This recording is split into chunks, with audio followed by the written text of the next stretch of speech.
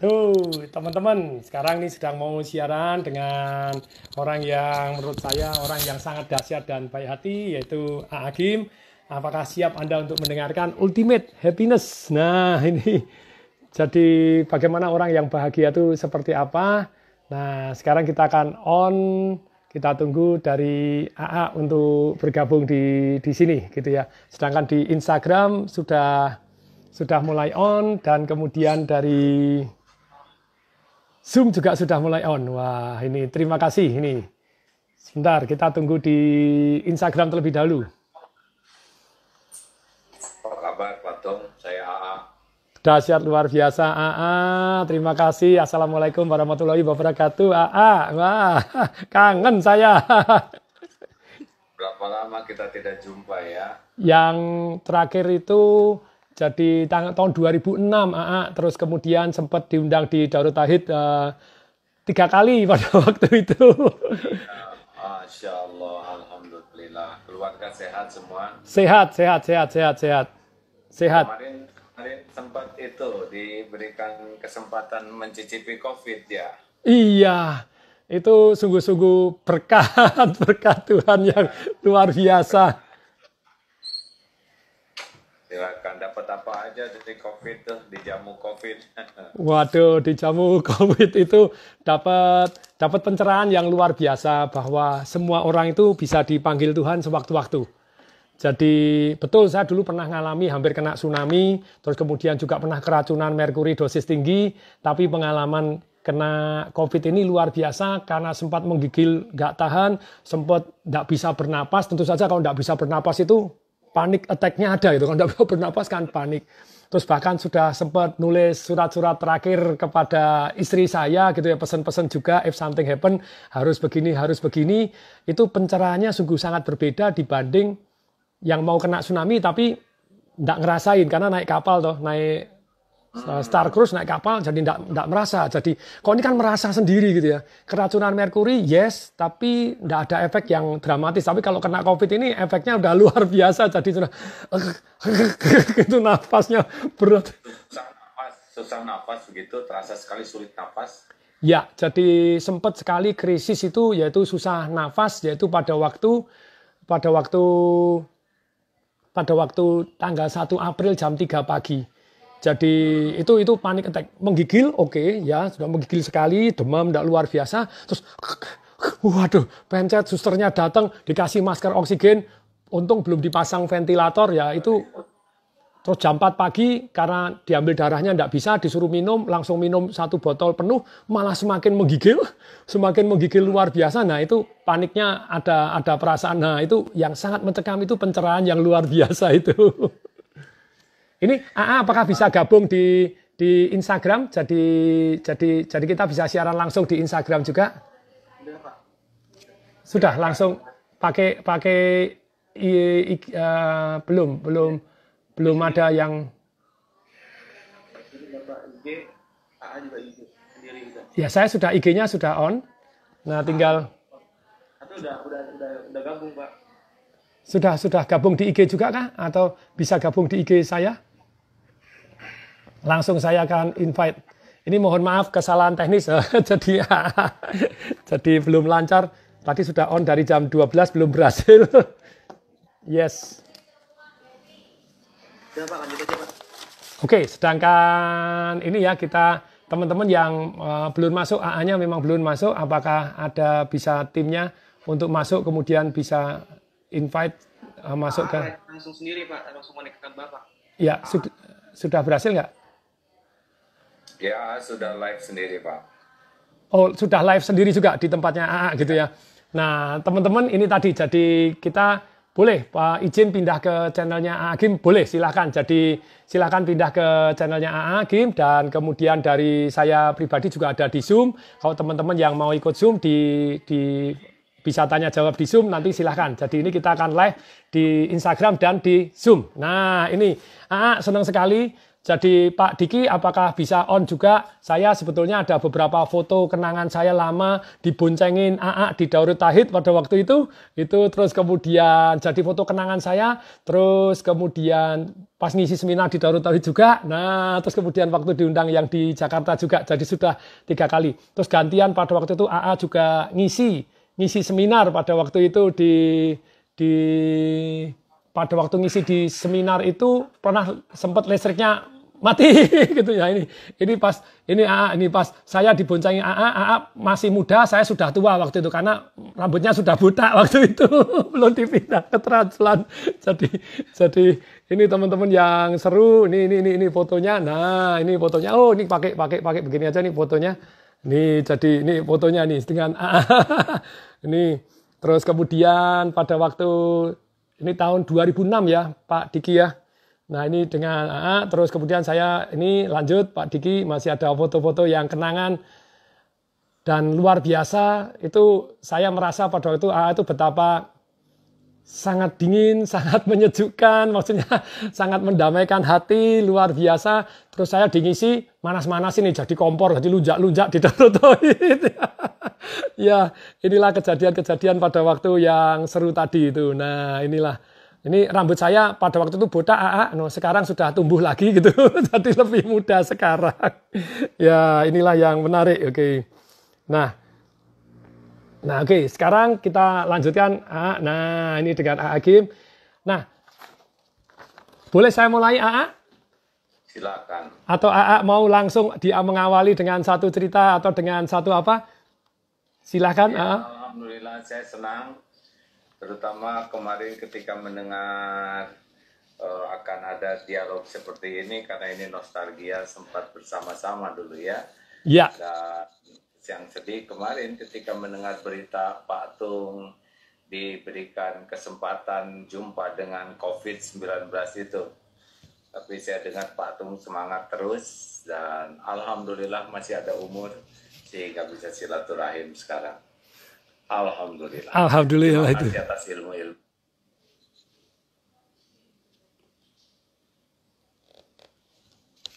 Ini puji Tuhan begitu ya, benar-benar Nah, Oke, nah sekarang ah, saya ini sudah suara cukup jelas. Ini kepengen pengen dengar cerita ini. Jadi AA kan saya baca betapa sayangnya dengan Bapak Haji Engkus Kuswara dengan Ibu Haja Yeti Rohayati. Kira-kira nasihat terbaik dari orang tua AA yang AA pegang sampai sekarang itu apa sih? Ya, ayah saya dan ibu saya bersahaja ya. Tidak melihat dunia ini sesuatu yang menyilaukan. Tidak agresif ingin memiliki dunia. Nah, ini benar-benar penting karena bagi yang sangat sibuk dengan ingin dunia sampai melupakan nilai-nilai nah ini akan membuat hanya casing yang bagus jadi orang tua sangat menyuruh membangun isi daripada casing. Itu yang pertama. Yang kedua, memang orang tua saya sangat dari kecil mendidik BRTT bersih, rapi, tertib, teratur ya. Iya. Ini uh, pelajaran yang sangat berharga, hidup dengan kedisiplinan sampai cara menutup pintu, cara melipat pakaian itu diajarkan dengan detail dan ini sangat berbekas dalam kehidupan dan juga di dalam membangun. Jadi tiada prestasi tanpa disiplin itu memang pendidikan orang tua. Dan yang tidak kalah pentingnya yaitu pendidikan orang tua tentang konsep kejujuran. Jadi dari awal ditegaskan bahwa memang e, kalau sudah bermain-main dengan ketidakjujuran, pasti itu bermain-main dengan kehancuran jadi walaupun kita tidak punya apa-apa, kalau kita punya jujur, kita punya banyak hal. Karena wow. kredibilitas itu menjadi sesuatu yang bisa dibangun dan fondasinya adalah kejujuran. Itu di antaranya selain fondasi agama yang tentu menjadi fondasi terpentingnya. Oke, terima kasih ini. Kemudian kalau ini karena kaitannya hari ini kita sedang membahas Bentar, tentang saya ya. tidak bisa dengar Pak Tolong sebentar. Suaranya apakah dengar? Sedikit, sedikit ada kendala suara. Suara apakah dengar? Ya. Ini mungkin Teman-teman, suara apakah dengar? Yes. bentar Ya. kawan-kawan ada sedikit kendala. Pak tuh bisa dengar suara saya? Jelas sekali, sekelas sekali ya, Oh, jelas. ya. Sekarang bagus. Lanjut Pak Tung. Jadi ada satu yang sangat-sangat penting di dalam kehidupan kita yaitu membahas tentang satu yang namanya bahagia begitu ya. Nah sekarang AA saya tanya ini tiga kejadian apakah yang paling membuat AA paling bahagia sepanjang hidup AA selama ini?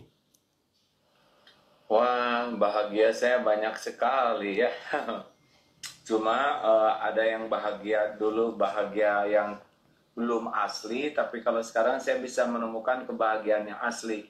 Mungkin ini agak-agak agak tidak umum bahagia ini. Jadi saya bahagia kalau saya bisa merasakan nikmatnya ibadah, ya. Kalau sedang sholat khusyuk, bisa menangis dengan itu bahagianya tidak bisa diukur oleh apa pun.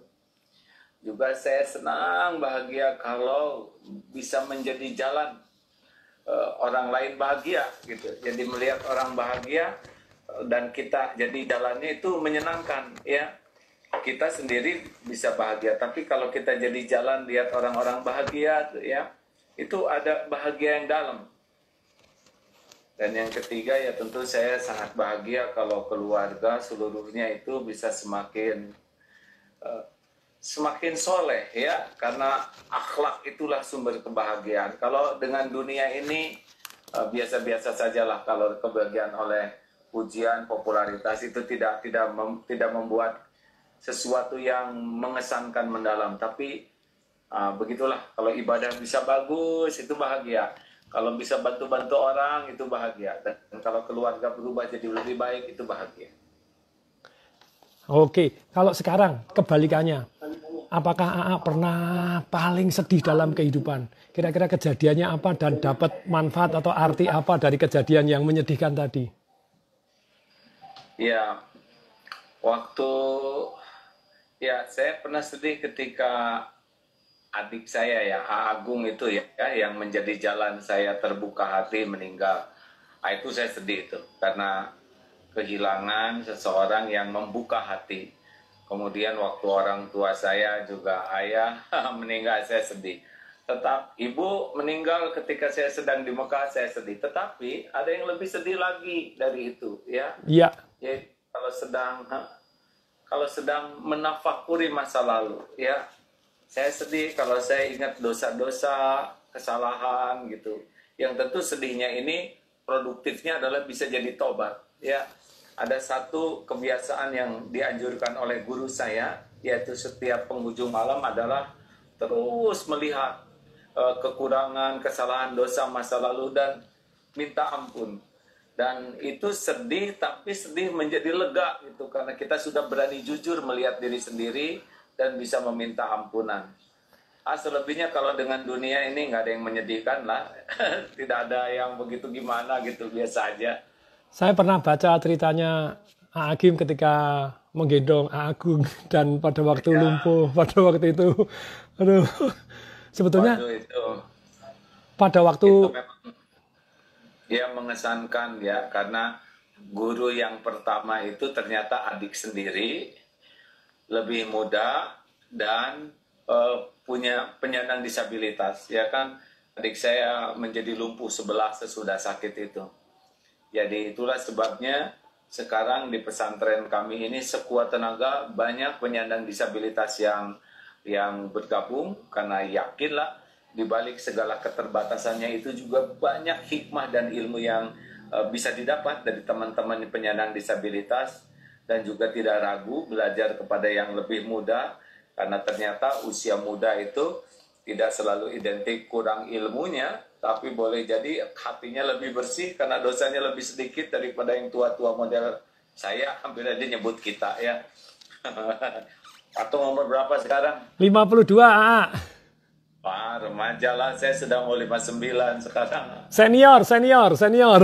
Oh iya, nggak bisa nyusul seumur hidup. Iya, nggak bisa nyelip, senior. Nah, Iya, begitu. Nah, kalau yang tadi betul ketika kita sedih dan ternyata itu bisa jadi tobat ketika kita mengingat kesalahan-kesalahan ataupun dosa kita. Nah, kalau sekarang Aa, ketika berpikir tentang kata bahagia, siapa sih orang pertama yang terlintas di pikiran Aa Gim dan kenapa? Oh, bahagia. Oke, definisi bahagia ini juga harus kita jelaskan ya, karena ada yang bahagia dengan sesuatu. Kalau saya tuh merasa bahagia tuh gini, inti bahagia itu adalah ketika lepasnya hati dari berharap ke makhluk. Ini yang saya pahami ya. Ya, Dan hanya berharap kepada Allah. Jadi bahagia itu kuncinya dua. Kepada pencipta kita benar-benar mengabdi dengan tulus. Dan kepada makhluk-makhluk kita rahmatan lil alamin kasih sayang. Nah, saya percaya itu bahagia itu ada di sana ya. Jadi ketika kita melakukan apa pun ikhlas karena Allah tuh kita akan diberikan kebahagiaan. Dan ketika kita sayang ke makhluk-makhluk itu tidak hanya manusia, tapi pohon, binatang, itu Allah akan memberikan kebahagiaan. Nah, gitulah. Kalau- Karena Mhm. kalau kalau bahagia yang asli itu kan bahagia yang ke dalam ya, bukan bahagia dalam kemasan hura begitu ya. Kalau yang saya pahami begitu nih. Maaf ya, begitu jawabannya. Kalau orang, siapakah orang yang pertama terlintas di pikiran AA? Oh, bahagia. Yang terlintas siapa dan kenapa?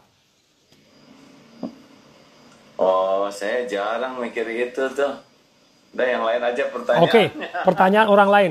Nah ini tadi, apakah betul yang dikatakan AA tadi merupakan satu konsep ultimate happiness menurut AA? Boleh dijabarkan lebih sekali lagi. Dan bagaimana kita semua bisa mencapainya ultimate happiness ini tadi?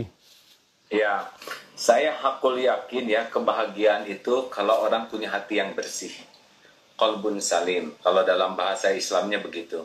Kan hati itu dibagi tiga. Kolbun majid, kolbun marid, kolbun sa. Ada hati yang mati, yang udah hanya hidupnya tuh mempertuhankan nafsu saja. Ada yang hati berpenyakit, ya, ada sombong, iri, dengki, wah, berbagai penyakit yang hidupnya tuh gelisah aja tidak pernah tenang walaupun harta melimpah, rumah megah, penampilan indah, mobil mewah, tapi hati pasti gelagapan terus. Itu ciri-ciri hati berpenyakit. Dan ada yang namanya kolbun salim, hati yang bersih, hati yang sehat, hati yang bening. Nah, di sanalah akan ada kebahagiaan hakiki. Nah, mungkin ada yang nanya, seperti apa hati yang eh, bening itu? Mau tahu nggak, Pak Tung? Mau, Ya. mau, mau, mau. Hati yang bersih itu adalah hati yang tidak diperbudak apa pun dalam hidup ini selain menjadi hamba dari penciptanya. Kan ada yang diperbudak harta, ada yang diperbudak popularitas, ada yang diperbudak gelar, ada yang diperbudak penampilan, ada yang diperbudak atau menjadi hamba istrinya atau hamba suaminya. Ada yang diperbudak follower ya sangat ingin follower, wah itu membuat sengsara. Tapi ini tidak dia hatinya tuh merdeka ah, hanya saya amat. Kemudian dari sanalah lahir bersih dari kemunafikan, bersih dari kesombongan, bersih dari kedengkian. Nah, makin bersih hati itu dia akan sangat nyaman dengan dirinya. Enak begitu ya. Dan kalau ini nyaman, raut muka kita tuh akan memancar kenyamanan, tutur kata kita juga nyaman, tulisan kita juga nyaman, dan itu eh, luar biasa manfaatnya bagi orang lain, baik berkata ataupun tidak berkata. Jadi orang kan mengeluarkan energi itu, nah makin bersih hati itu, tidak diperbudak dunia dan apa pun, dia punya dunia tapi tidak memperbudaknya. Jadi harta ya di tangan lah, nggak di hati. Sebab kalau harta atau dunia sudah ada di hati, ketika diambil itu seperti megang kawat berduri, robek ini. Nah perihnya ini luar biasa. Ini semakin kita megang kepada sesuatu di dunia ini, nah giliran Allah mengambil itu robeknya luar biasa. Perih, makanya banyak orang yang stres itu karena megang terhadap dunia ini, ya. Terlalu megang ke istri, ke suami, megang ke harta, megang ke anak, harusnya ya ini adalah titipan. Seperti tukang parkir lah. Banyak mobil tidak pernah sombong ganti-ganti tidak takabur diambil sampai habis tidak sakit hati. Karena nggak megang hatinya tuh. Walaupun ada. Wow, tidak memegang, ya. Kalau sekarang supaya kita bisa tidak memegang, supaya kita bisa ikhlas tadi, seperti istilahnya tukang parkir tadi, kan di banyak di dunia ini betapa banyaknya orang kepingin. Setelah kepingin, kalau tidak mendapat tidak bahagia. sudah mendapat pun tidak bahagia karena punya kepinginan yang lain, tidak akan pernah Iya. selesai. Itu gimana? dunia dunia ini takdirnya seperti air laut makin diminum makin haus jadi orang kalau mencari kebahagiaan dengan duniawi itu tidak akan pernah bisa karena udah punya ini dia pasti akan ingin yang lain yang mengakibatkan dia tuh tidak pernah bahagia karena bahagianya tuh pada sesuatu yang belum ada dan ketika udah ada dia ingin lagi yang lain dan itu letih sekali seperti itu Supaya makanya nih, bisa melepaskan tadi, ah, supaya supaya Ya. tidak melepaskan.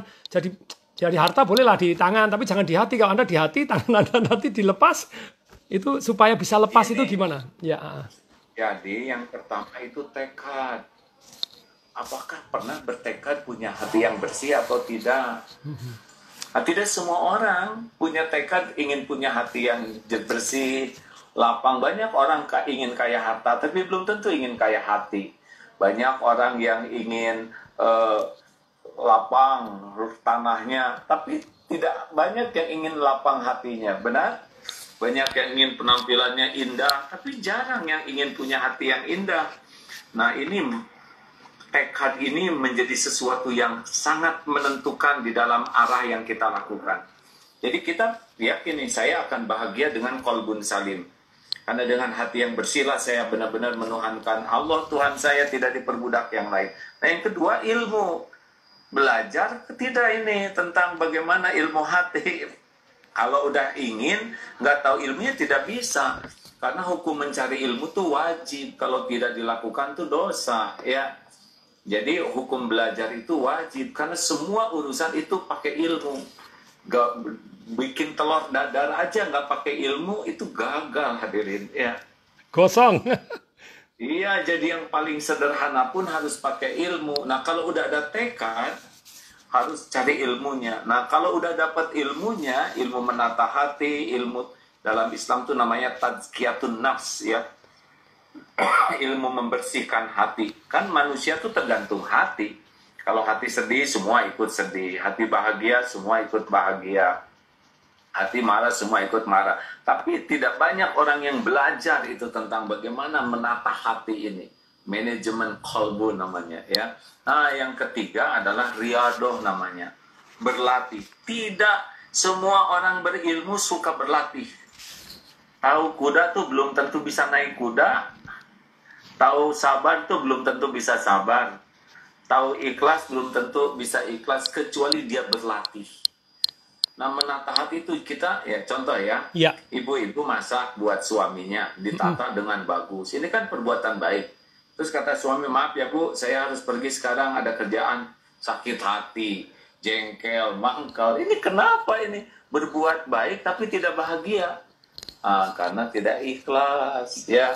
Nah harusnya ketika suami bilang oh inilah latihan keikhlasan bagi saya ya. Niat sudah jadi pak kebaikan, masak sudah jadi kebaikan, tidak dimakan, latihan saya bersabar. Bu nggak apa-apa, nggak apa-apa, Pak. Yang penting saya bisa melakukan yang terbaik. Naik, naik, dihina orang. Kalau dihina orang kan banyaknya sakit hati tuh. Tapi kalau kita punya program latihan, ketika ada yang kamu ini gimana jadi orang? Satu, ya Allah, alhamdulillah, engkau takdirkan saya tidak seperti dia, kan? Kalau ada orang marah, kita harusnya bersyukur bahwa bukan kita yang pemarah. Kayak kita kecopetan, kita tuh harus bersyukur bukan kita yang jadi copet. betul, betul. ya. Nah, jadi alhamdulillah bukan saya yang malingnya. yang kedua, oh saya dapat pelajaran nih, lihat orang marah-marah di depan. Ya Allah, engkau takdirkan saya melihat akhlak yang kurang baik. Berarti engkau mengajari saya untuk tidak melakukan hal yang sama. Dia marah, tapi kita beda lagi, dapat ilmu ya nggak? Oh Ya. iya, iya saya nggak akan kayak gitu. Tiga, oh jangan-jangan ini teguran dari Allah bahwa saya punya perilaku itu kepada orang lain, mungkin ke pembantu, ke supir. Astagfirullah, dia malah lagi marah. Kita evaluasi diri. Yang keempat, dengan seperti itu kita, oh iya, kasihan orang yang marah tuh seperti itu maka saya harus bisa bersabar membantu agar dia bisa hilang kemarahannya. Namanya balaslah keburukan dengan yang lebih baik. Nah orang marah tapi kita punya program latihan nih. Oh kita malah jadi manfaat. Beda dengan yang tidak punya program. Orang marah ya dibales lah. Nah, jadi orang punya program latihan tuh kesulitan apa pun akan dinikmati. Nah, yang keempat adalah lingkungan. Kalau kita ingin bersih hati, kita harus benar-benar mencari kawan-kawan yang standar akhlaknya lebih tinggi dari kita. Karena menurut Nabi Muhammad bergaul dengan penjual minyak wangi akan ikut harum, bergaul dengan pandai besi akan bau bakaran atau terperciki api. Jadi kalau kita tidak pandai memilih kawan-kawan, ya ah, kita bisa rusak gitu. Bukan berarti kita sombong, tidak mau enggak, tapi kita harus ada kawan-kawan inti kita tuh yang energi positifnya tuh membuat kita jadi baik hatinya. Dan yang paling penting adalah kekuatan ibadah dan doa. Karena Allah yang membulak-balik hati. Kalau Allah mau balikin hati jadi baik, baiklah gampang. ya. Nah itu lima katanya sih. Dahsyat Nggak luar biasa. Iya. Tapi saya yakin memang begitu. Jadi inilah teman-teman, jadi ingat ya, jadi kalau kita mau istilahnya ultimate happiness itu, kalau saya salah tolong diralat, ah, ah, ini mumpung masih ada, jadi minta kesimpulannya benar atau salah gitu ya. Jadi kita tuh harus betul-betul hatinya itu hati yang bening dan hati yang bersih. Hati yang bening dan bersih itu tidak terikat. Jadi Anda tidak istilahnya bolehlah kamu punya harta di tangan, tapi tidak terikat di hati. Tidak ada kemelekatan, tidak, tidak, ada, nempel, ya, tidak terikat, lengket. tidak lengket, tidak terikat, tidak melekat dengan Ya. jumlah follower, jumlah viewer, jumlah apa harta kita, tidak ada mobilnya apa. Kalau kalau nanti satu waktu diambil, waduh, kitanya seperti tadi yang AA cerita apa kawat berduri kita pegang wah, langsung berdarah-darah karena melekat di Ya, tangan kita, tangan kita makin somplak. kuat, makin kuat megangnya, makin robeknya makin dalam dan makin sakit. Jadi makin kita megang ke harta, kejabatan, kedudukan, penampilan, istri, suami kan, suami istri belum tentu panjang umur, ya kan? Eh, Cinta boleh, Pak Tung, tapi kan siapa tahu kalau Pak Tung udah udahan, nah, tidak boleh mendalam sampai robek sekali. Ya, Cinta, cinta, tapi biasa lah, ya. Ya, jadi ternyata kemudian berikutnya bagaimana supaya tidak terikat tadi gitu ya. Ternyata ada lima jurus yang diajarkan AA untuk manajemen kolbu ini tadi dan supaya kita hatinya tidak melekat sampai robek tangannya, robek hatinya, robek dagingnya. Nah, ini caranya bagaimana? Yaitu dengan cara ada lima. Nomor satu kita harus punya tekad dulu, gitu ya. Tekad bahwa kita harus punya hati yang bersih. Dan kemudian benar-benar kalau Anda sudah punya tekad hati yang bersih, kemudian yang kedua belajar ilmunya. Ternyata ada loh ilmu-ilmu untuk supaya hati yang bersih. Setelah punya ilmu hati yang bersih itu caranya harus begini, begini, begini. Tadi tidak melekat, tidak begini. Terus kemudian makanya kita harus berlatih gitu ya. Nah untuk berlatih ini AA boleh di kan selain berlatih kita cari lingkungan, cari teman-teman yang betul-betul punya akhlak lebih tinggi. Yang kelima harus ibadah dan doa karena siapa sih kita tanpa Tuhan Allah kita ya tidak ada artinya apa pun. Nah boleh di ulangi AA yang yang tiga tadi. Berlatih itu harus berlatih di empat hal. Berlatih di apa AA Berlatih bagaimana? berlatih supaya kita bisa manajemen hati kita supaya kita bisa tidak melekat. Tadi seperti tadi misalnya ada yang jadi begitu oh ini berlatih bisa menikmati. Kebetulan kalau kita dicuri ah bukan saya yang nyuri. Ada orang marah-marah ah ini orang yang pas marah-marah. Ya. itu Seperti berlatih kalau kita dihina ya. ya mm, Banyak orang yang sakit hati dihina. Padahal harusnya bersyukur kalau dihina. Satu bukan kita yang menghina ya. Tapi yang kedua kita kalau dihina orang itu lihat penghinaan orang itu lebih sederhana dibanding kehinaan kita yang sesungguhnya. Kan kita dihormati orang itu bukan karena kita sudah jadi sangat baik. Kita dihormati orang itu karena Allah menutupi kejelekan, kekurangan, aib, keburukan kita. Kalau kita dibuka itu wah hancur kita termasuk saya juga sekarang diundang dan didengar begini karena banyak aib, kekurangan, kesalahan yang ditutupi oleh Allah dan orang-orang tidak tahu. Nah, kalau kita dihina oleh orang, dengar saja penghinaan itu, bandingkan dengan kehinaan kita yang tidak diketahui dia. Cetek itu penghinaan.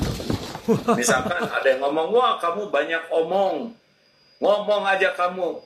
Ah, dia cuma nganggap kita banyak omong. Dia tidak tahu kita banyak hutang, banyak cicilan, banyak dosa, banyak ketombe, banyak koreng dan sebagainya. wow luar Dan sayangnya orang tidak berani jujur melihat dirinya sendiri. Mau tahu dikasih ilmunya patung supaya kita berani jujur melihat diri sendiri. Ya, Ada lima tekniknya. Saya senang ganjil ganjil ya. Karena eh, konsep hidup ini kan sederhana patung ya. Ya. Kalau ada yang nanya, ah apa sih kesibukan A sehari-hari? Ya kesibukan saya PDLT. PDLT, perbaiki diri dan lakukan yang terbaik. Kenapa perbaiki diri? Karena saya tidak terancam oleh siapa pun kecuali oleh keburukan saya sendiri. Yang membuat saya sengsara, hina, dan binasa itu pasti dosa saya, kesalahan saya. Makanya tidak perlu terlalu takut oleh ancaman siapa pun karena yang mengancam diri kita itu adalah keburukan kita yang tidak kita akui dan tidak kita perbaiki. Lima teknik untuk Memperbaiki diri. memperbaiki diri. Satu, Eh, satu adalah jujur diri ya. Jadi eh, pertama kali yang harus kita lakukan kita harus benar-benar bisa jujur diri, tafakuri diri.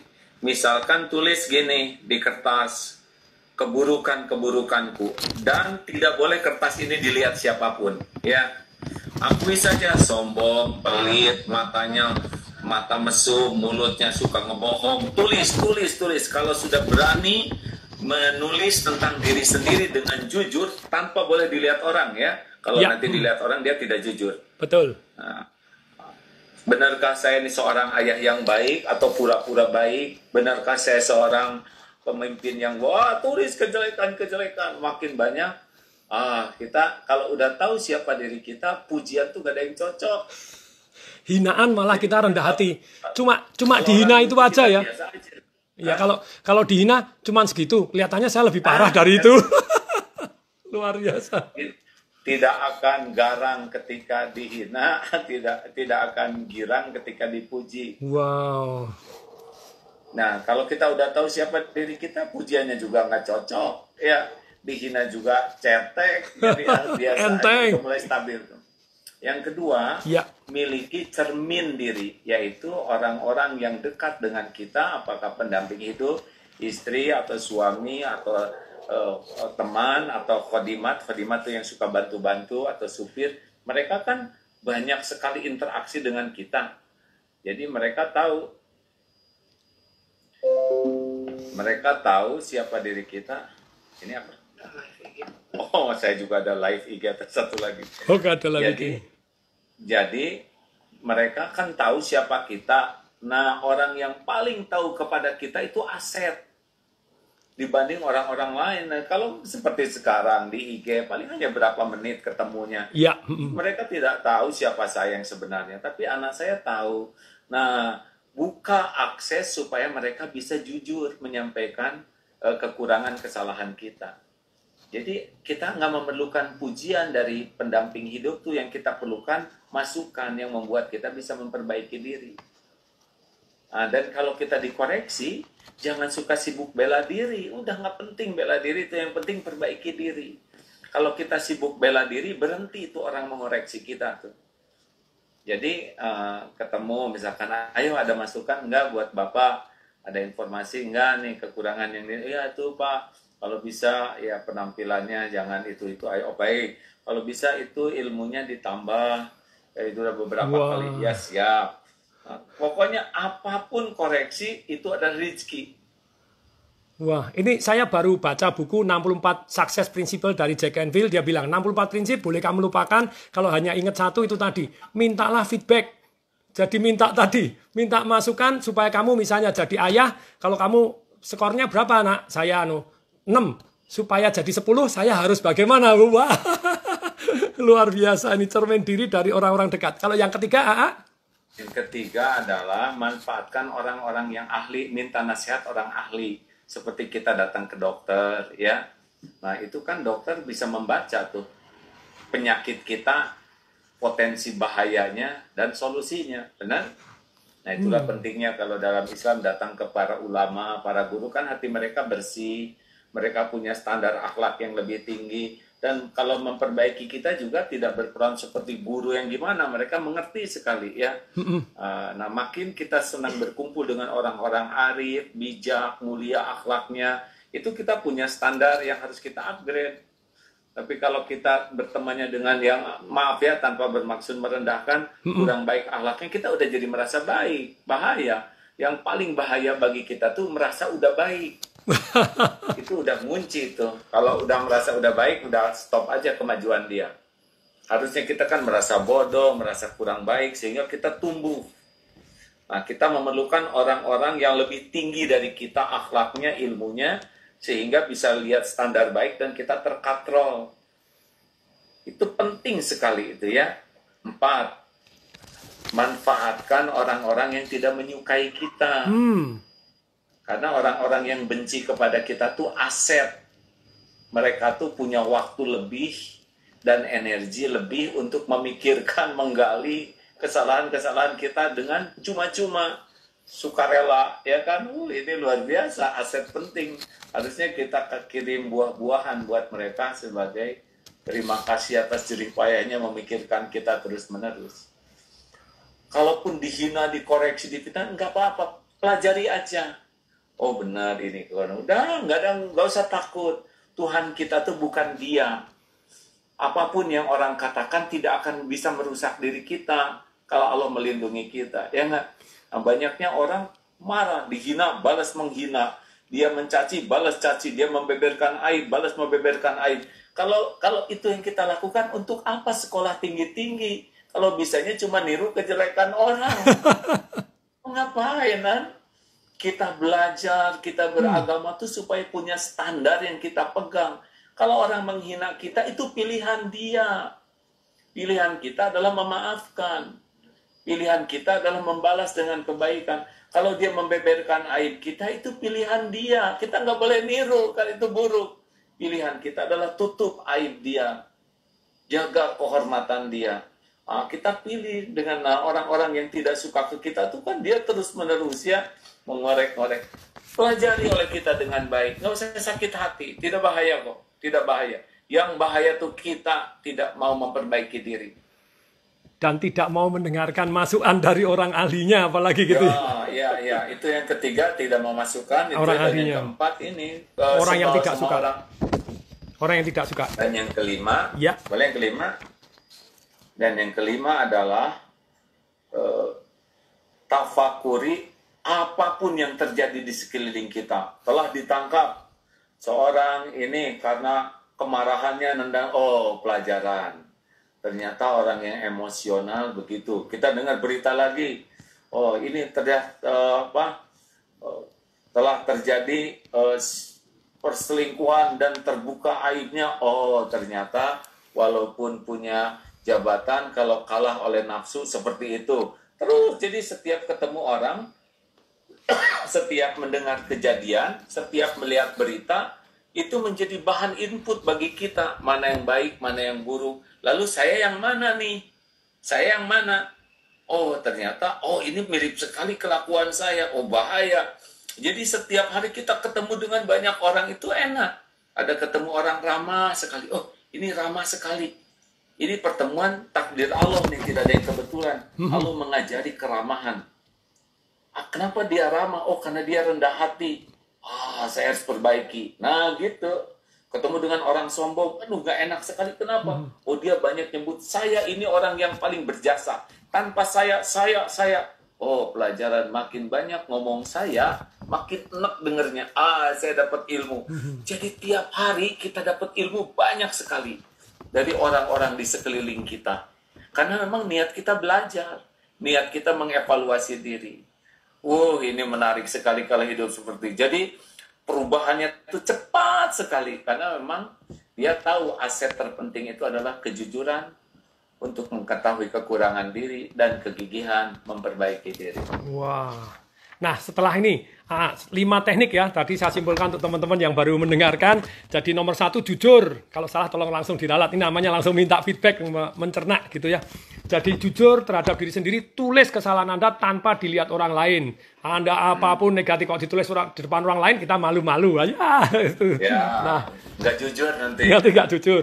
Yang kedua cermin atau masukan dari orang-orang terdekat kita Kita bisa Iya. tampil di atas panggung, wah orang bilang hebat-hebat, tapi yang hidup dengan kita 24 jam sehari, nah Iya. itulah baru ketahuan kita dicintai atau enggak sama orang-orang terdekat kita. Yang ketiga, Ya, bisa jadi orang yang dekat nggak mau dengar, Pak. Waduh, malah itu omong tok itu enggak praktek betul itu cilaka itu dari orang-orang terdekat kita. Nah, sungguh penting orang-orang terdekat dari kita memberikan satu yang namanya masukan. Tadi kalau jurusnya dari satu teman yang namanya Jack Canfield saya belajar jadi tadi eh, 64 prinsip dia ada prinsip yang yang yang dia bilang yang yang yang sisanya boleh tapi satu ini penting kamu mintalah misalnya jadi atasan minta sama bawaan Anda, saya kalau jadi atasan 1 sampai 10 berapa kalau bisa ditulis enggak pakai nama saja terus supaya oh angkanya 2, angkanya 6, angkanya 7 supaya jadi 10 alangkah baiknya saya harus bagaimana. Dengan istri, dengan anak minta feedback seperti itu, wah itu indah luar biasa begitu ya. Itu AA, saya pada waktu kena Covid ya, anak saya mau meluk saya waktu saya mau masuk rumah sakit. Saya enggak boleh, enggak boleh nanti enggak boleh, enggak boleh, enggak boleh. Dia nangis, enggak apa-apa aku sakit Covid ya, enggak apa-apa, mau nekat mau meluk. Saya enggak boleh, enggak boleh. Begitu saya tetap masuk ke rumah sakit, ternyata tahu-tahu tahu-tahu yang terjadi itu anak saya WhatsApp ke saya, cerita bagaimana? Cerita, Papa saya sudah doa supaya saya umur saya dikurangi. Saya mati duluan dari papa. Papa yang panjang umur itu membuat saya nangis. Aduh, istri saya juga sama. Tuhan kurangi umur saya kasih suami. Adik saya sama. Adik saya, adik saya besok panasmu hilang kok. Jadi tak tuker dengan nyawaku. Jadi itu itu sampai saya baca nangis marah juga tapi terharu juga. Sungguh luar biasa dari orang-orang terdekat betapa sayangnya seperti itu. Tapi akhirnya saya telepon saya bilang bahwa doa itu harus pakai dan. Kamu panjang umur saya panjang umur. Doa kok pakai atau? Tuhan diajak negosiasi begitu. Enggak minta yang baik dan baiklah gitu ya. Untungnya akhirnya mereka setuju. Nanggung, nanggung doanya sempurnakan yang baik aja. baik dan baik kan enak betul sempurnakan saja. Nah kemudian ini yang keempat jadi ini yang paling keren. Ah, ah, luar biasa dahsyat. Jadi kalau mau memperbaiki diri teknik keempat adalah manfaatkan dari orang yang tidak suka kepada kita yang ngeritik-ngeritik terus tidak usah dibalas kritik tapi dengerin dan penuh kerendahan hati bahwa apa yang dikritik itu tidak seberapa dibanding kesalahan dan dosa kita. Luar biasa dahsyat top. Kemudian yang kelima, tadi tafakuri semua yang terjadi di sekeliling kita, pelajarin dan review. Oh jangan-jangan saya gitu. Sebentar, sebentar. Oh kalau gitu saya jangan ikut-ikutan yang begini. Oh yang itu janganlah. Wah itu lima hal yang luar biasa. Nah dari yang setelah AA, saya akan merasa AA ini kan terus meningkatkan diri begitu ya. Saya ingat pada waktu duduk di Darut Tahid, AA-nya tanya, tanya, tanya, tanya. Mestinya giliran AA nanya. Ini kesempatan saya giliran nanya ke AA. Dalam beberapa tahun terakhir ini, pikiran apakah yang AA berubah? Sedemikian sehingga, oh mestinya bukan begitu. Begini, setelah meningkatkan diri bertahun-tahun, kira-kira apa pikiran AA yang berubah dari AA yang dulu dengan AA yang sekarang? Ya, saya sudah tua sekarang. Saya Senior, AA senior. ya. Jadi nyebut tua itu ada efek positif, ada efek negatif ya. Eh, karena me- mati itu kan tiga rahasianya ya. Satu waktu. Allah merahasiakan waktu kematian kita. Ya, Yang kedua, tempat. Kita tidak tahu akan mati di mana. Yang ketiga, cara. Waktu, tempat, cara. Nah, ini yang punya Allah sendiri. Karena dirahasiakan waktu kematian itu, makanya kalau di dalam Islam begini Pak Tung. ya, Siapakah manusia tercerdas? Manusia tercerdas itu adalah cirinya dua. Orang yang paling banyak ingat kematian dan paling mempersiapkan diri untuk kehidupan sesudah mati. Akibatnya dengan ingat mati itu menjadi luar biasa produktifnya. Produktif, berhati dan berbuat baik. Ya nggak? Nah, jadi saya merasa nih, kan Nabi Muhammad usianya 63, ah, saya 59, 4 tahun lagi nih. Tapi kalau patung mau duluan juga nggak apa-apa ya. terima kasih AA. Semoga kita dua-dua panjang umur AA. Aduh. Amin, amin, Amin, amin. Memang mau mau berapa panjang umur? Emang mau berapa? Patung mau berapa? Jadi sebetulnya kan kalau doa boleh minta, tapi kan tidak bisa minta. Kan kita hanya berusaha dan doa saja Tuhan yang menentukan segalanya. Ya, Mau berapa? 200, mau 200 tahun. Ya 180 lah, diskon dikit boleh. Biarinlah kapan aja mati nggak apa-apa. Yang Betul. penting kita hidup ini maksimal manfaat ya. Amin. Nah, jadi yang yang paling sekarang saya berubah dalam sisa umur ini adalah saya ingin sekali kapan pun saya meninggal meninggal dalam kebaikan. Jadi saya berusaha setiap waktu itu diisi dengan eh, PDLT tadi perbaiki diri. Saya cari apa yang kekurangan ini dan sekuat tenaga saya perbaiki. Dan yang kedua kalau saya bisa berbuat sesuatu, saya pengen maksimal yang terbaik gitu ya. Dan tanpa pamrih harus ikhlas. Memperbaiki diri juga bukan untuk jaim, bukan untuk diakui orang kita udah baik, juga melakukan yang terbaik bukan untuk ucapan terima kasih, bukan untuk imbalan, bukan untuk sebuah kekaguman orang. Enggak, ini adalah yang terbaik itu adalah amal saya. Nah, itu yang paling sekarang. Jadi kalau ingat harta, misalkan harta ada tuh, gimana nih caranya supaya ini harta ini bisa membuat saya jadi baik dan melakukan yang terbaik. Ah, yang dan juga yang terpikir ini adalah bagaimana menyiapkan amanah-amanah yang ada ini nih Eh, kan ada pesantren, ada perusahaan dan sebagainya eh, bisa eh, bisa menye- membantu menyapih sehingga yang diberi amanah ini lebih siap memegang ini. Jelas nggak Pak Dong ya? Jadi Jelas, dalam jelas, jelas, umur ini saya ingin mempersiapkan anak-anak lebih siap gitu. Pesantren lebih siap untuk mandiri. Jadi kalau kapan pun saya tidak ada, semua tuh syariatnya sudah siap. Jangan sampai kita lupa menyiapkan sehingga kita tidak ada nanti kolab semua syariatnya begitulah. Jadi sisa umur ini eh, sungguh-sungguh nih kader-kader di pesantren siapa, kader-kader di perusahaan siapa. Jadi eh, memikirkan regenerasi ini dengan sangat dulu nggak ter- begitu terpikir, tapi sekarang ini menjadi sangat intensif untuk siap kapan pun ajal menyemput dalam kebaikan dan yang ditinggalkan tidak menjadi susah gara-gara kita tidak mempersiapkannya. Wow. Sampai saya pernah dengar gini ya, kalau kita malam kita bisa doa dengan tulus bahwa Tuhan saya siap diambil. Wah itu itu itu satu ketulusan, satu kesiapan pada waktu bangun tidur kita bilang Tuhan saya siap untuk bermanfaat untuk orang banyak pagi hari ini dengan penuh tenaga, dengan penuh berkat. Terima kasih. Begitu malam terima kasih sudah dikaruniai kehidupan, saya siap diambil. Waduh itu kalau doanya bisa tulus gitu, aduh enak bener gitu ya. Nah ini AA, kemudian kalau AA boleh pesan, kalau bisa menyampaikan satu pesan saja kepada orang seluruh dunia, kira-kira pesannya apa? Kalau milih satu aja dari sekian banyak kata-kata AA yang luar biasa yang saya suka, ya Yang paling penting kenali Tuhanmu dan mengabdilah kepadanya. Kenali tugasmu di dunia dan abdikan diri untuk manfaat bagi sesama. Wow. Kenali Tuhan, Kenali Tuhanmu. Kenalin dan tugas. Mengabdilah kepadanya. Kenali tugasmu di dunia ini. Dan berkhidmatlah. Bermanfaatlah bagi sesama sebanyak-banyaknya. bermanfaatlah. Wow. Ya, karena nilai seseorang bukan dari apa yang dia miliki. Nilai seseorang dari apa yang bisa dia beri. Khairun nas anfa'uhum linnas. Sebaik-baik manusia adalah manusia yang paling banyak manfaat. Wah, paling banyak manfaat itu luar biasa itu dahsyat sekali. Orang beragama kalau tidak bermanfaat dengan orang lain juga percuma begitu ya. Jadi Berarti belum paham agama. belum paham agama. Karena prinsip agama tuh kepada pencipta menuhankan, mengabdi, tidak mengabdi kepada tidak menuhankan siapa pun, ya. Kepada pencipta dia menghamba, kepada ciptaan dia rohmat, berkhidmat, melayani kepada ciptaan itu, ya. Kepada Tuhannya dia menghamba, jadi dia tidak jadi budak harta duniawi, ya. Tuhannya cuman Allah di hatinya, tapi kepada makhluk-makhluk rahmatan lil alamin, menebar kasih sayang, menebar manfaat. Udah tugas gitu. Itu yang Tunggu saya baca di Instagram AA jadi rahmatan lil alamin. Jadi membawa Ya, berkat membawa rahmat bagi seisi alam. Islam tidak hadir untuk orang Islam saja, untuk seluruhnya siapa pun dia, ya.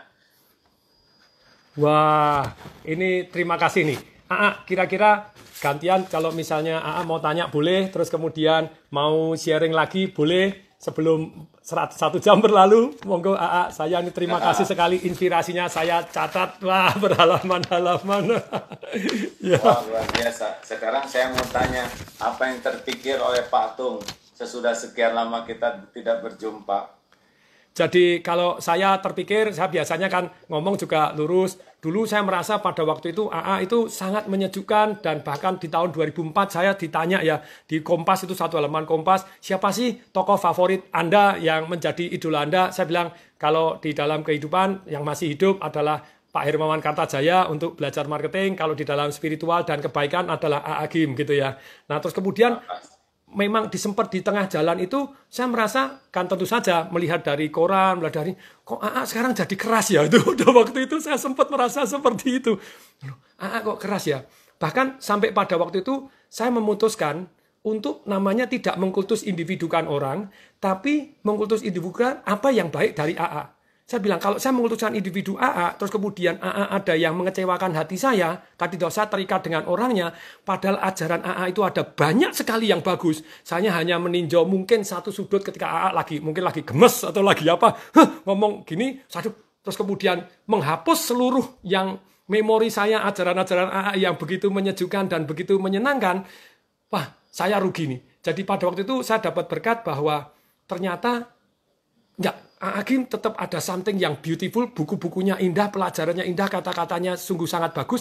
Kalau ada satu kejadian, dua kejadian yang, Duh, kok AA sekarang keras ya? Kok ngomongnya keras nih? Kok ngomongnya ya, begini? Ya, kemudian yang saya merasa lagi, yang terakhir-terakhir ini, aduh, AA adem lagi gitu ya. Saya, saya aduh, aduh, aduh, enak bener gitu ya. Jadi ketika dengerin, ketika begini, baca lagi artikelnya, aduh, menyejukkan. Itu yang saya rasakan dari AA. Saya kembali lagi pernah di satu waktu saya merasa kehilangan AA gitu ya.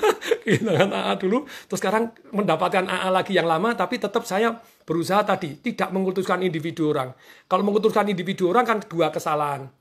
Satu, apa pun yang diomong kita anggap benar, walaupun dia manusia, tetap manusia kadang belum tentu benar. Yang kedua, ketika kita kecewa satu hal kecil, mendadak kita mengabaikan semua kebaikannya dia gitu ya. Jadi kesalahan orang kan gitu tuh menyamaratakan. Kalau begini berarti wes semuanya jelek. Padahal kan enggak, yang diomong tetap bagus, yang ini bagus. Seperti dulu saya ke Anthony Robin juga sama. Jadi idola saya yang mengubah hidup saya salah satu Anthony Robin, dia kan ngajarin walk the talk, apa yang Anda ajarkan, Anda jalankan. Satu hari dia cerai sama istrinya. Pada waktu itu saya merasa ini apaan, ngajarin keluarga harmonis kok cerai. Untung waktu itu saya hampir tidak mau ikut seminarnya. Tapi untung sekali saya memutuskan siapa sih saya berhak menghakimi seorang Anthony Robin. Akibatnya saya tetap berangkat ikut seminarnya, eh dapat ilmu-ilmunya yang positif. Makanya kisah hidup orang itu kan kita juga harus mawas diri bahwa kita juga bukan orang yang sempurna kok menghakimi orang. Siapa sih kamu yang bisa menghakimi orang? Dan kejadian-kejadian yang mungkin menurut kita jelek sesudah dijalani, mungkin itu yang membuat semakin berkualitasnya seseorang. Ya, memang ada sesuatu yang tidak umum, tetapi itu yang mungkin membuat kedua pihak tuh semakin matang, semakin bijak, semakin dalam wawasannya. Ya, makanya di dalam Al-Quran disebut boleh jadi engkau tidak menyukai sesuatu padahal baik menurut Allah bagimu dan boleh jadi engkau menyukai sesuatu padahal jelek menurut Allah. Allah Maha tahu kalian tidak tahu. Makanya berbaik sangkalah terus ya.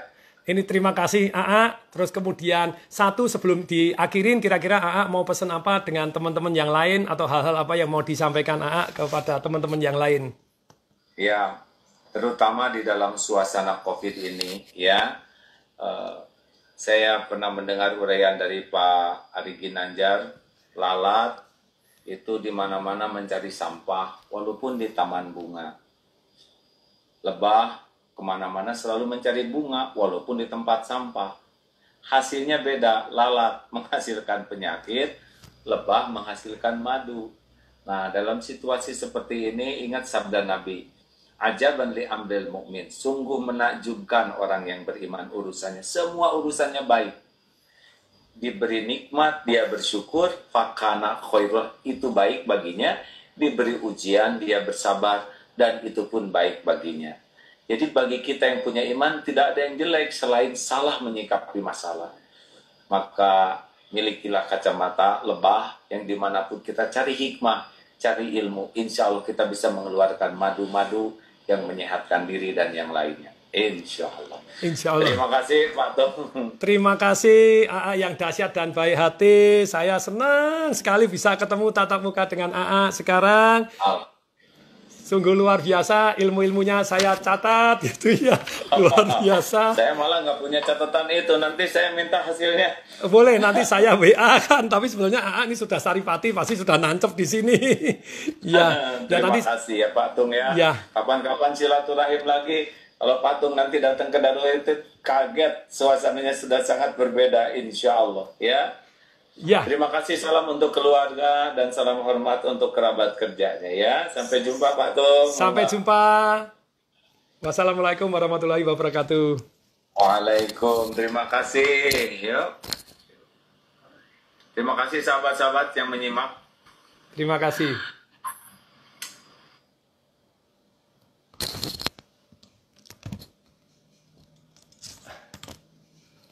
Ini teman-teman, jadi itulah wawancara dari uh, Tung Disemaringin kepada. Agim. Nah ini teman-teman saya akan sampaikan rangkumannya nih. Saya akan sampaikan rangkumannya. Jadi semoga bermanfaat karena yang namanya bahagia itu adalah yang dikejar oleh semua manusia. Jadi dalam kesempatan ini akan saya sampaikan ini apa yang saya tanya kepada Hakim dan kemudian kira-kira jawabannya apa untuk biasa setiap saya melakukan Instagram live ataupun melakukan apa biasanya saya simpulkan jadi kita dapat saripatinya nih ini saripatinya ya. Ini saripatinya nasihat apakah yang terbaik dari orang tua Hakim yaitu beliau adalah Bapak Engkus Kuswara dan Ibu Hajah Yeti Rohayati. Jadi ternyata nasihatnya harus orang itu harus bersih rapi dan teratur. Jadi kalau tidak ada disiplin, kita tidak akan bisa mencapai apa pun yang kita inginkan. Kita harus jujur begitu ya. Dan kemudian jangan silau terhadap something yang duniawi. Ini saya simpulkan. Nih, jadi Anda langsung dapat saripatinya ini dari sepanjang perbicaraan selama satu jam ini tadi. Terus kemudian tiga kejadian yang membuat AA bahagia itu apa sih yang paling bahagia? Satu, pada waktu beribadah dengan kusuknya. Kemudian yang kedua, ketika kita bisa melihat orang lain bahagia. Wah, ini kan dahsyat luar biasa kan begitu ya. Kemudian ketika keluarga kita jadi bahagia dan soleh itu seperti apa? Gini ini ini luar biasa. Kemudian kapankah ketika AA merasa paling sedih? Dia bilang banyak sekali gitu ya. Tapi dalam hal ini misalnya sedih ketika pada waktu itu A Agung gitu ya. A Agung itu adiknya beliau yang lumpuh dan pada waktu orang tua meninggal dunia, yes ketika mengingat dosa-dosanya yang terjadi di zaman dulu, kesalahan-kesalahannya. Tapi ada indahnya ketika kita sedih, itu sebetulnya kita punya kesempatan untuk jadi tobat. Nah ini penting, untuk jadi tobat begitu ya. Terus kemudian ketika AA, kemudian saya tanya, kata bahwa seperti apakah sih konsep ultimate happiness menurut AA Gim dan bagaimana kita semua bisa mencapainya. Nih, ini, ini, ini, ini saripatinya, ini penting nih gitu ya.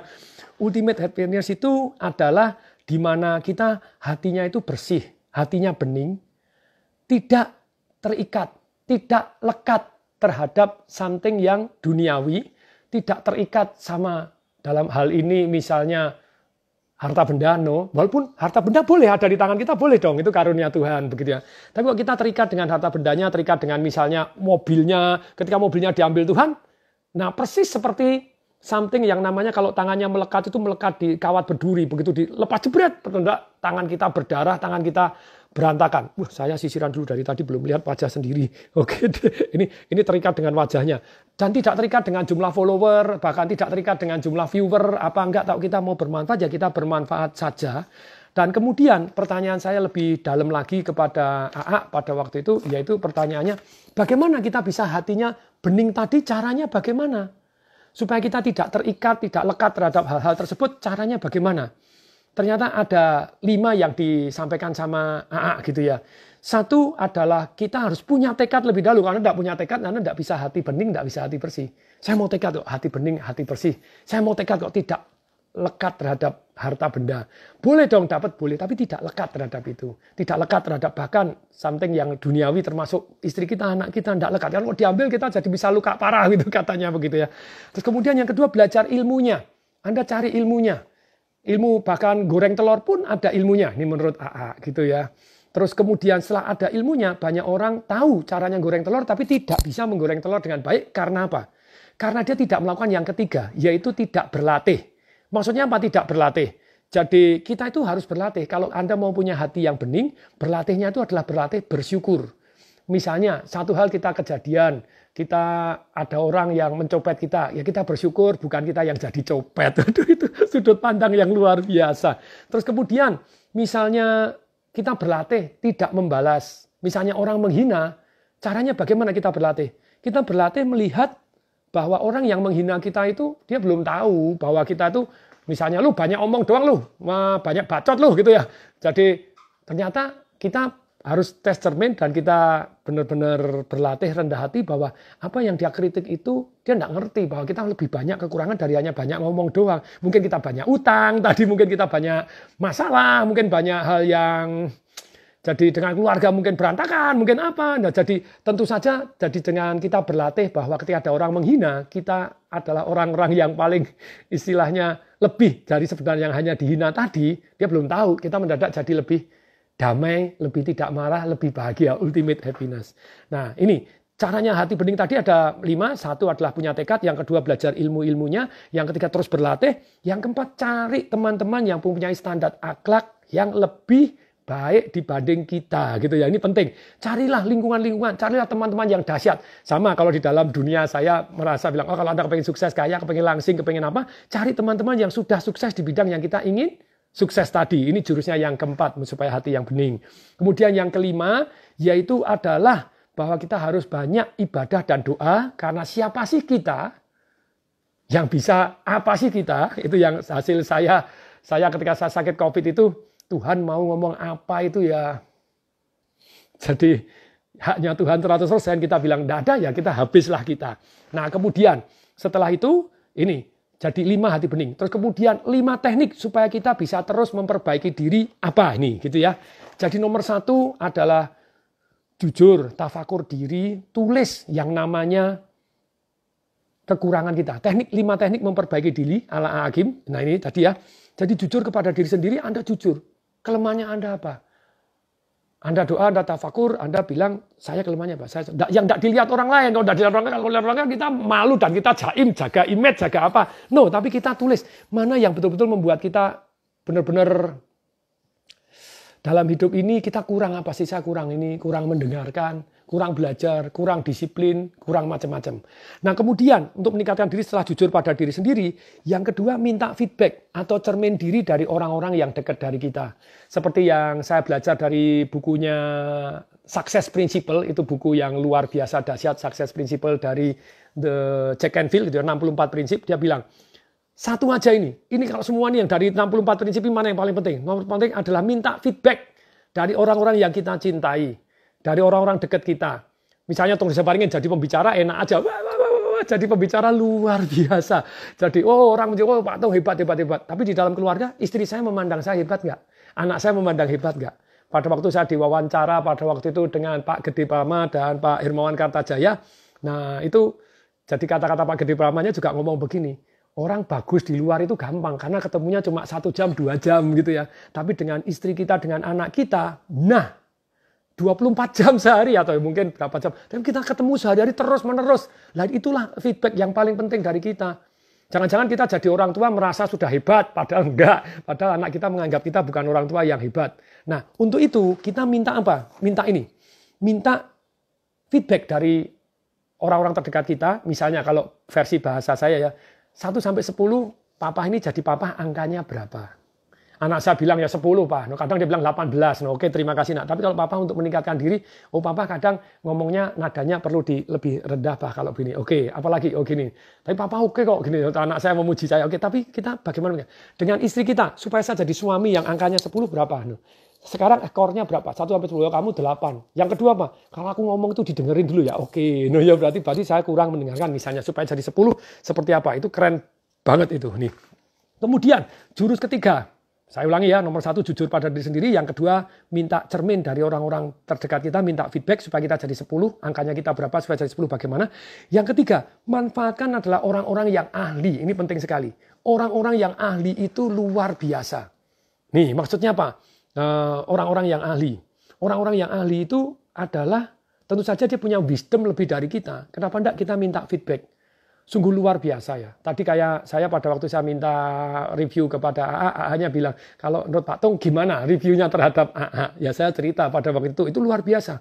AA itu mau belajar terus, saya diundang di Darut Tauhid, apa dia belajar, dia nanyain, dia rendah hati, dia terus belajar, saya merasa sungguh-sungguh adem dan damai saat itu. Dan kemudian saya memberi feedback, ada masa-masanya saya merasa, kok AA jadi keras ya sekarang gitu.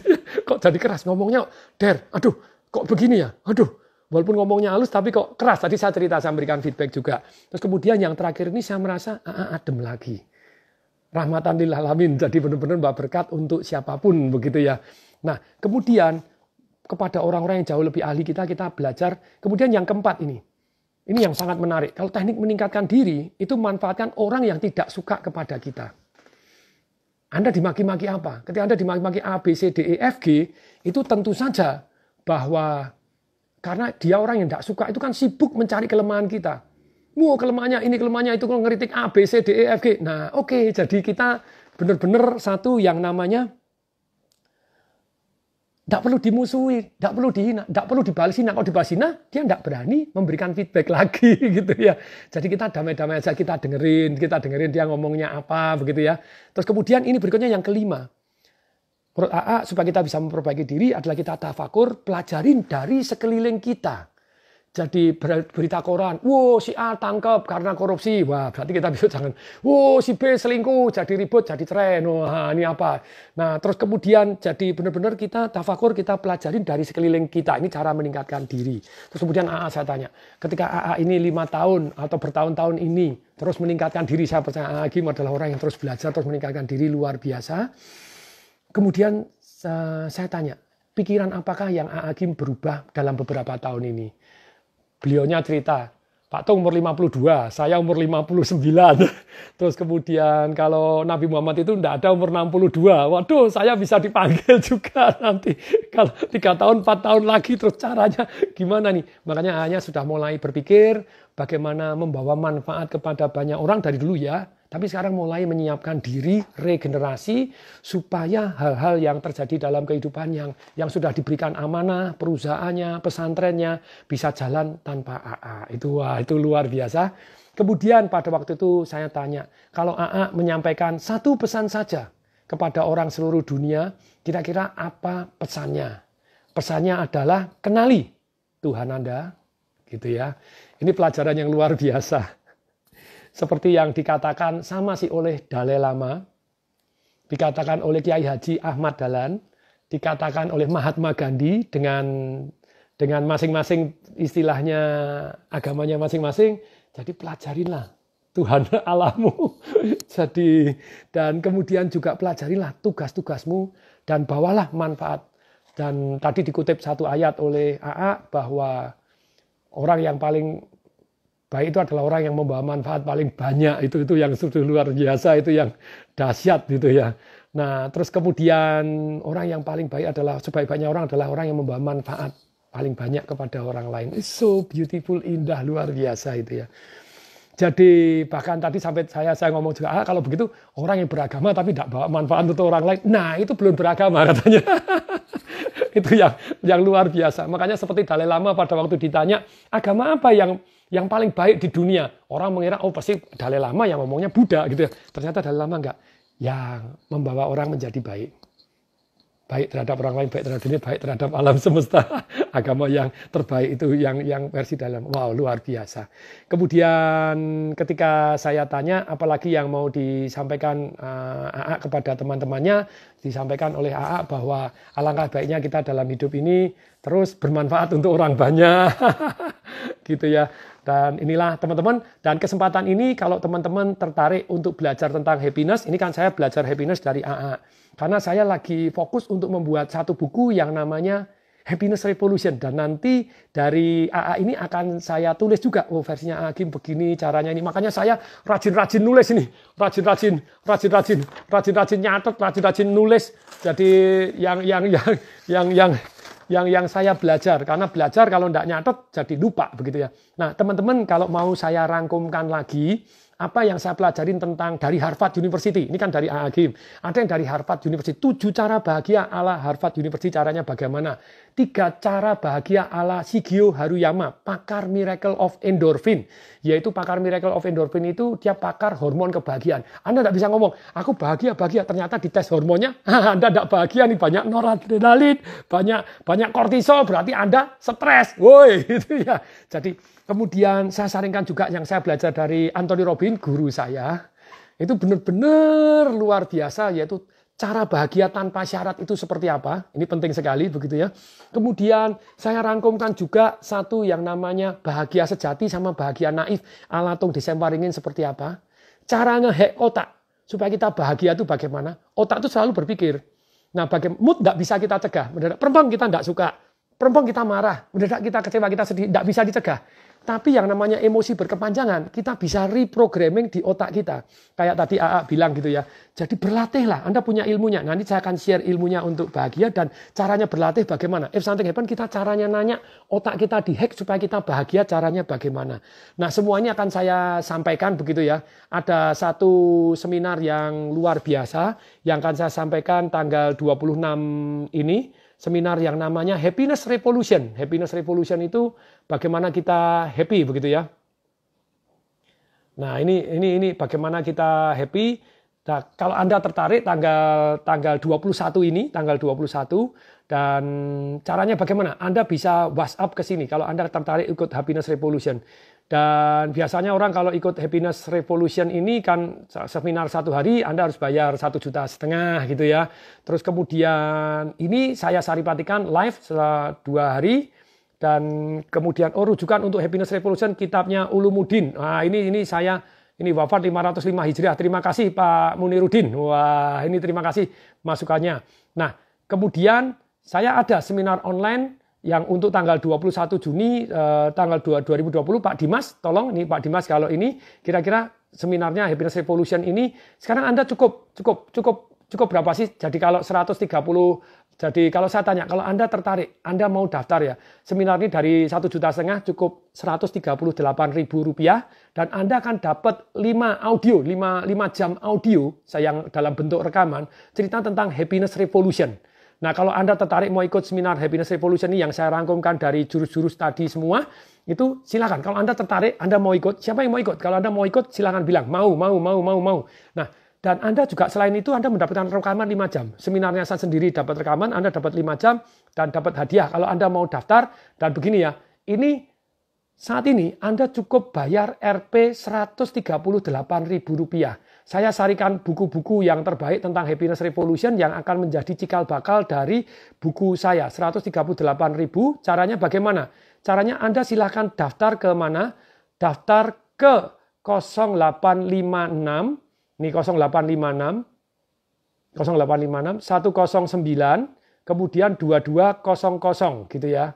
Jadi Anda silahkan daftar ini 138.000 Anda mau tertarik silahkan jadi bisa ikut nggak itu? Yes, Wah, itu ada acaranya jam berapa. Jadi Pak Dimas nanti akan gini. Jadi bisa. Bahkan Anda bisa dapat tadi 5 jam audio saya rekaman tentang bagaimana bahagia, tujuh cara bahagia ala ala Harvard University caranya bagaimana.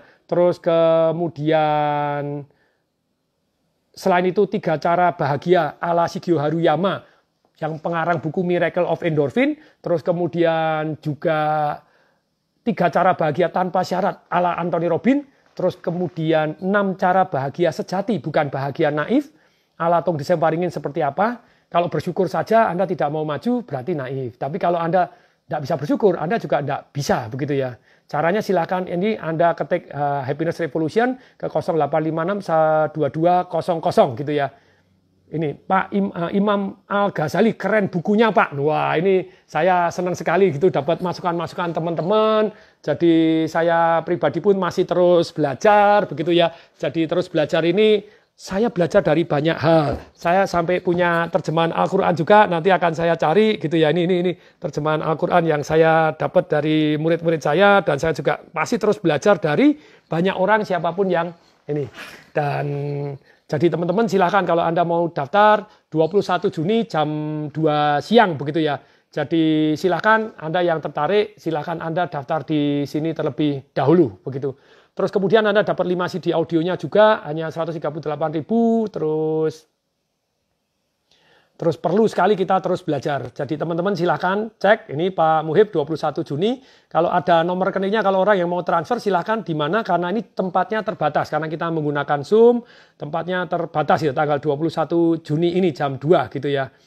Ada juga buku batin yang damai Ucu Namudin. Wah, jam berapa? Jam 2 siang. Nah, jam 2 siang tanggal 21 ini gitu ya. Tanggal 21. Silahkan teman-teman yang mau daftar silahkan jam 2 siang ini Pak Dimas mana ini Pak Dimas? Pak Dimas silakan diketik. Nah, ini Pak Surah Al-Fat uh, 15 Happiness Revolution. Keren, keren, keren, keren. I always learn. Nah, silakan. Nomor rekeningnya berapa ini Pak Dimas, Pak Muhib? Nomor rekeningnya berapa? Pak Dimas mendengarkan saya kah di Instagram atau atau ini? Silakan ini. Silakan.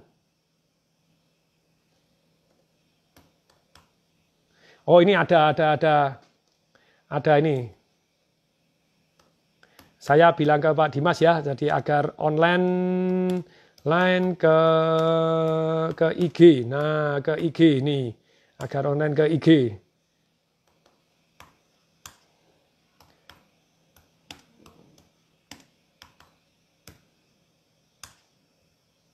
Nah, ini ini teman-teman jadi terima kasih nih sudah mengikuti dan nanti akan saya share juga di Instagram saya.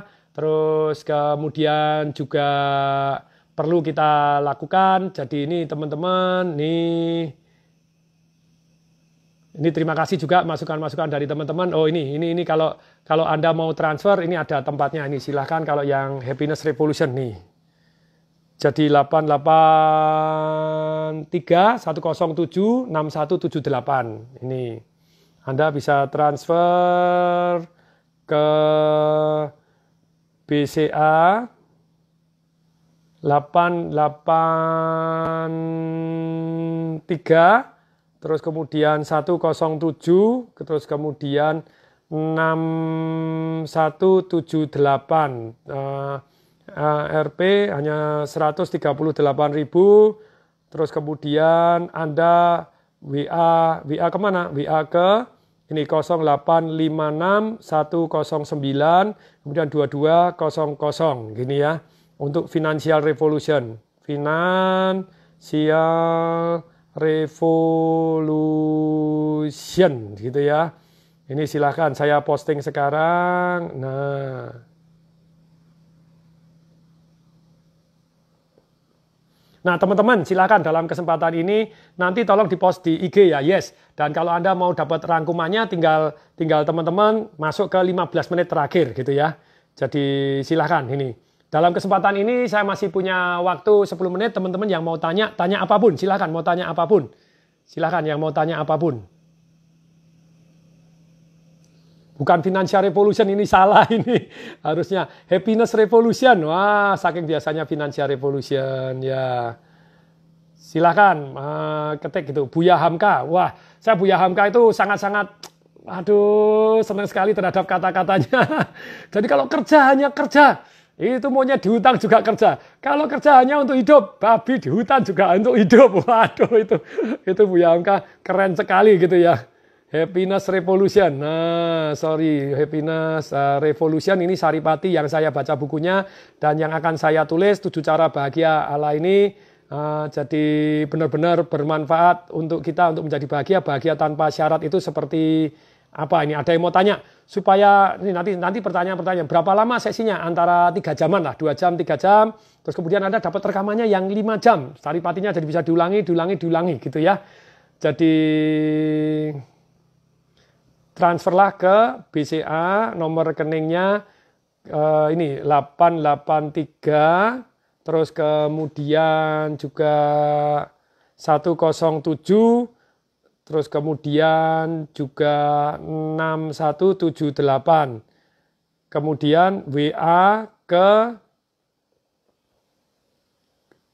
Pak Dimas nih 0856 109 2200 nih.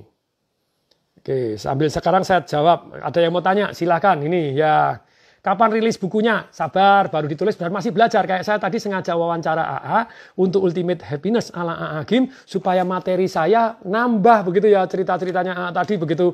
Aduh, luar biasa.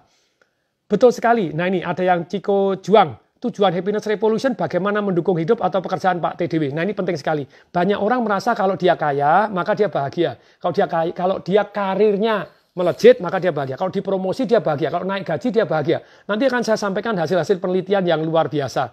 Ada diteliti 220 ribu orang begitu ya. Jadi dari 200 uh, eh, sekian penelitian selama selama 40 tahun, the last 40 years gitu ya. Dari penelitian tersebut disimpulkan ternyata bukan kita kaya dulu baru bahagia. Kalau kita bahagia itu kita lebih kaya. Bukan sehat terus kemudian baru bahagia. Tapi kita ternyata kalau bahagia kita lebih sehat. Ini yang menarik, luar biasa. Ketika kita bahagia kita lebih sehat. Jadi itu ada penelitian-penelitian tersebut yang membuat saya terinspirasi pada waktu saya mengadakan uh, ceritanya Happiness Revolution ini. Sebetulnya pada waktu saya kena COVID itu ternyata membuat saya ketika saya nyanyi bahagia itu membuat saya jadi lebih sehat. Kalau orang bahagia tidak bisa khawatir, orang khawatir tidak bisa bahagia. Ketika Anda khawatir, hormon-hormon membunuh diri Anda jauh lebih besar gitu ya. Jadi ini semoga nih. Jadi kemudian 64 jurus tadi karya siapa? Jack Canfield, J A K, J A C K, Jack Canfield, C A N F I E L D. Jack Canfield gitu ya yang ngarang Chicken Soup on the Soul itu 20, 64 jurus itu success principle gitu ya. Terus ada teman mau nanya nih Munirudin, oke? Okay? Pak Munirudin jadi ibu apa bapak ini. Terus kemudian mohon maaf tidak kelihatan. Saya mau financial revolution secara cepat bagaimana? Mau dalam waktu dekat. Jadi kalau mau mau belajar ada nanti tanggal 26, 27, 28 Juni. Anda boleh sama WhatsApp di 0856 109 2200 gini ya. Aha, Pak, jika seorang karyawan biasa ditawarin mengelola perusahaan, apakah ada pelajaran pemimpin revolution? Ada, namanya leadership revolution. Nah, Anda boleh itu cari CD-nya ke Pak Dimas juga, nomor teleponnya yang saya sematkan tadi. Kalau Anda daftar Happiness Revolution kan, ke BA 0856 109 Nah, untuk itu Anda silakan karena ini tempatnya Happiness Revolution itu cuma sedikit itu untuk untuk untuk Zoom kan tempatnya terbatas. Ini silakan Anda kalau yang tertarik transfer sekarang begini ya. Jadi leadership revolution Anda boleh tanya ke Pak Dimas begitu Kirara Bakso. Jadi terima kasih ini yang jaga kesehatan Pak, nggak boleh capek-capek. Yes, dahsyat. Nah ini bahagia itu dekat dengan kita dan ada di dalam diri kita. Buya Hankam, top Marco top. Oke, ini ada lima menit lagi. Silakan yang mau tanya. Oke, bagaimana cara mempunyai banyak downline dalam waktu cepat pada ML? Saya berhak menjawab karena karena saya dalam tiga bulan saya pernah di downline, saya pernah di MW itu tiga bulan 300 orang di bawah saya. Tapi saya pernah di skyquestcom.com tiga bulan 3000 orang di bawah saya. nah, sebetulnya caranya bagaimana? Kita membentuk satu yang namanya super team gitu kalau Anda di multi level ini boleh. Ini happiness revolution merangkap seperti boleh gitu ya. Jadi tentu saja teman-teman semua yang tertarik mau belajar itu super team. Caranya buat super team bagaimana kita cari yang namanya 6 istilahnya saya mau binyana yang 6 mau ikutin saya. Nah itu 6 itu sebenarnya kita rekrut 12 dan 12 kita terjunkan di mall harus nyapa banyak-banyakan dan kemudian setelah nyapa banyak-banyakan kita follow up. Dan saya sendiri presentasinya one to many. Jadi membina 6 orang terus kemudian saya one to many. Setiap saya seminar saya selalu cerita, siapa yang daftar duluan tak kasih lebih atas dibanding yang lain. Jadi kita tumpuk itu dapat dapat banyak sekali. Oh ini ada yang nanya. Bertahan cara pandemi sudah ada di IG-IG saya sebelumnya. Aku Robin, Pak waktu ditanya umur 200 kenapa nawar Pak? Waktu diminta duluan Bapak mau tidak belum dijawab. Sebetulnya maunya bareng-bareng aja sama AA gitu ya. Tentu saja bareng-bareng apa? Jawaban saya sama-sama panjang umur. Kalau mau 200 kenapa kok ditawar? Ya karena kok bisa 180 pun saya sudah bersyukur banget kok gitu ya. bisa 100 terima kasih Tuhan. Tapi tentu saja Bagaimana mau punya passive income dalam waktu singkat bagaimana? Ini last question ya saya jawab ya. Nanti kita boleh ikut di Financial Revolution seminar saya ataupun Happiness Revolution saya akan share. No. Uh, oh, ini ada yang Pak Saki. Saya ngajar kewirausahaan materi saya berikan mencontek Pak Tung. Dahsyat top, Marco top. Itu harus itu ya. Jadi saya kepengen mata pelajaran kecerdasan keuangan, termasuk happiness revolution, leadership revolution, cara bahagia itu benar-benar diajarkan di sekolah karena sekolah tidak ngajar gitu ya. Ini penting sekali. Tapi sekali lagi, jadi saya akan share terlebih dahulu yang yang mana tadi? Oh, bagaimana dapat passive income dalam waktu singkat? Jadi makelar yang langsung punya passive income. Maksudnya jadi makelar yang punya langsung passive income. Misalnya kita masukkan produk ke multi level. Multi level yang downline-nya banyak, belum tentu kita diterima. Anda masukkan, anda jadi makelar saja, tidak perlu punya produk, produknya orang lain yang bagus, kita masukkan ke multi level, dan multi levelnya kita terima sekian persen misalnya, 5 persen, 3 persen. Wah itu seumur hidup. Anda terima pasif income dalam waktu yang singkat langsung berkali-kali banyak. Tidak perlu punya produk, tidak perlu punya jaringan, orang tengah saja Anda terima pasif income. Masuk akal Pak Munirudin gitu ya. Oke, last 3 menit nih, last 3 menit. Last 3 menit nih. Pak, mau nanya nih kerja karena hobi atau karena tuntutan? Tentu saja yang terbaik. Kalau kita kita kerja, itu nomor satu di bidang yang kita menghasilkan. Yang kedua yang mudah. Yang ketiga adalah yang kita suka. Pak, boleh nggak kita yang suka? Boleh, harus dong. Kalau Anda nggak suka, bagaimana Anda istilahnya misalnya Anda ternak kucing, ternyata Anda nggak suka kucing, wah kucingnya bakal sengsara gitu ya. Michael Jordan ternyata tidak suka basket. Yang namanya Taylor Swift ternyata nggak suka nyanyi. Ed Sheeran ternyata nggak suka mengarang lagu, nggak suka nyanyi. Nggak bisa begitu ya. Jadi tentu saja. Tetapi pertanyaannya menghasilkan atau tidak? Kalau cuma hobi saja, tapi tidak menghasilkan ya namanya piknik gitu ya. Hobi piknik hobi mancing tidak menghasilkan ya repot gitu ya. Jadi kalau ini Mas Diki staff gitu ya kerja karena hobi atau karena tuntutan. Alangkah indahnya kalau bisa hobi dan yang menghasilkan. Nah itu yang dahsyat luar biasa. Tapi kalau ternyata Pak saya tidak suka tapi bisnisnya menghasilkan. Saya garansi kalau bisnis Anda itu menghasilkan satu miliar rupiah per per bulannya Anda tidak suka pun Anda akan jadi suka gitu ya. Nah ini. Jadi nomor satu harusnya Pak manfaat itu ada di IG saya ya di IG saya sebelum-sebelum ini ada yang gambarnya apa ya yang yang gambarnya ada lihat yang beberapa IG ini, 4 5 IG sebelum ini atau 6 IG sebelum ini ada yang saya cerita tentang bahwa kalau milih bisnis itu harusnya seperti apa, milih bisnis atau seperti apa. Kelihatannya kemarin yang baru kemarin. Oke, ini tinggal satu menit. Last last question, last last question. Silakan ada yang mau nanya, silakan. Last last question, silakan ada yang mau nanya. Ini dari Batam, salam kenal. Oke, ini Matur nuwun patung sehat selalu bahagia ini Mas Faya Fasa Yusuf. Nah, silakan ada yang mau tanya? Last question. Ayo last question silakan yang mau tanya. Silakan last question. Pertanyaan yang baru. Oke, silakan. Silakan tanya. Silakan tanya last question. Oke, tinggal satu menit lagi. Oke, dan sudah transfer Pak. Terima kasih dari Jombang. Yes, dahsyat. Oke teman-teman kalau sudah tidak ada, oh nih, kalau Pak Tung punya uang 200 juta, Pak Tung ngapain? Nah ini pertanyaan yang luar biasa. Kalau saya punya uang 200 juta, itu istilahnya saya gunakan untuk leher ke atas untuk belajar lebih dahulu gitu ya.